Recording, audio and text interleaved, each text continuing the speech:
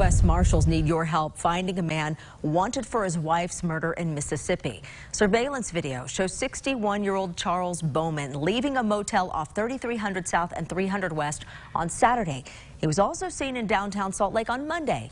The Marshal Service believes Bowman may be using hotels and campgrounds within an hour of Salt Lake City. So take a look. If you see him, call the Marshal Service immediately. A $5,000 reward is being offered for his capture.